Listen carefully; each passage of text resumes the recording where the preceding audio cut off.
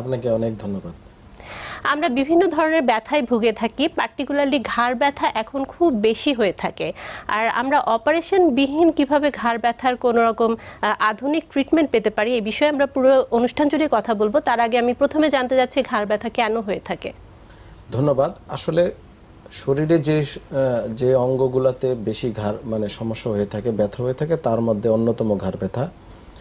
এই ঘাড় ব্যথার আমরা যে কারণগুলো পেয়ে থাকি দুটো কজ একটা হচ্ছে মেকানিক্যাল কজ আর একটা হচ্ছে প্যাথোলজিক্যাল কজ মেকানিক্যাল কজের মধ্যে বেশিরভাগ কজগুলি হচ্ছে মেকানিক্যাল যেমন যদি ঘাড়ে ডিক্সের সমস্যা হতে পারে, ঘাড়ে নার্ভের সমস্যা হতে পারে লিগামেন্ট সমস্যা হতে পারে মাসেলস সমস্যা হতে পারে, হাড়ের সমস্যা হতে পারে যেমন হাড়ে আপনার জানেন যে হাড় ক্ষয় রোগ হাড় ক্ষয় রোগ এটা পরিচিত সমাজে।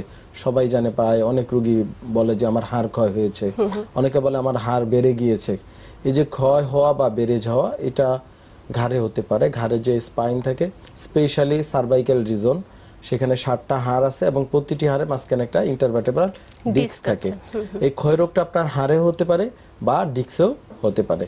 যদি এই ক্ষয় রোগ হয় তা থেকে ঘাড় ব্যথা হবে এটা কমন পাশাপাশি ডিক্সে যদি আপনার আর্থ্রাইটিস বা যেটা ক্ষয়রোগ বলি সেটা হতে হলো ডিক্সটা হাইট কমে যাবে ফাইব্রোস্ট হয়ে যেতে পারে শুকিয়ে যাওয়া হাড় মানে ডিক্স এবং সেক্ষেত্রে চেপে যেতে পারে ডিক্স এবং হাড় থেকে আবার একটা এক্সট্রা হাড় বেড়ে যেতে পারে যেমন আমরা সেটাকে অস্টিওফাইট বলে থাকি এবং অনেক সময় দুটো হাড় জোড়া লেগে এই যে যেতে পারে। বললেন অস্টিওফাইট যে হাড় বেড়ে যাওয়া এটা কেন হয়?